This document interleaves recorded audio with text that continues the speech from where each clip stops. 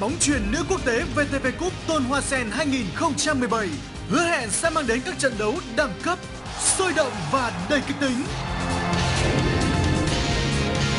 Triệu niềm đam mê cùng chung nhịp đập. Diễn ra từ ngày 8 đến ngày 15 tháng 7 tại nhà thi đấu Hải Dương, được truyền hình trực tiếp trên VTV6 và VTV6 HD.